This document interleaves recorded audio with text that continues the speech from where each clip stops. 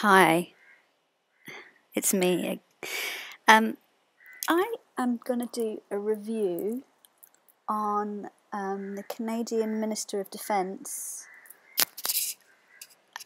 and the alien contact, well, the video that he basically um, tells a group of ministers that there are four different breeds, species of um, alien.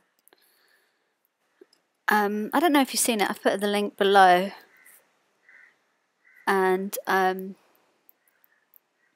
I don't really know why, if indeed this is a real scenario. Like, how come we haven't heard about it in the news? What is going on? Is it real, or is it it seems pretty real to me. Um, I'll leave a link and let you decide.